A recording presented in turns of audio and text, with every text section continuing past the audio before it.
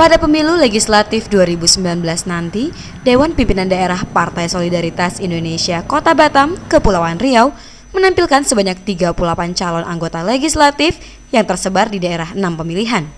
Sejalan dengan misi PSI secara nasional, ke-38 caleg ini akan membawa gaung anti korupsi dan anti intoleransi kepada masyarakat.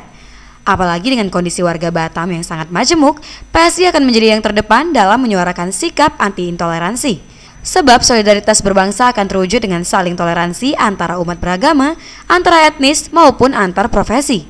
Hal ini diwujudkan dengan memberikan hak yang sama kepada setiap warga negara untuk menjadi pemimpin ataupun kesempatan berkarya. Ketua DPD PSI Kota Batam, Aris Lutfi mengatakan, sebagai partai yang dikenal dengan pergerakan generasi milenial, partainya menampilkan caleg-caleg muda yang sudah teruji kemampuannya sebagai pejuang bagi kesejahteraan masyarakat dan pemerintah yang bersih. Gennya PSI itu cuma dua, hmm. anti korupsi dan anti intoleransi. Nah, itulah yang uh, akan dibawa oleh caleg-caleg uh, eh, PSI di mana pun berada. Berbicara target adalah bagaimana kita menggapainya. Jadi ketika uh, ada berapa dapil di uh, Kota Batam, itu yang kita sasar. Maksudnya gimana? Biar semua dapil itu bekerja.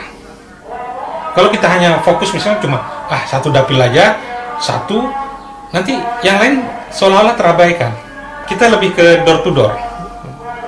Kita uh, sosialisasi ke masyarakat, mengenalkan diri, mengenalkan siapa kita dan harus disampaikan lebih dulu bahwa kami uh, bukan e, caleg yang menggunakan uang untuk melakukan sosialisasi. Para caleg Partai Solidaritas Indonesia melakukan kampanye tanpa politik uang dengan bersosialisasi dari rumah ke rumah.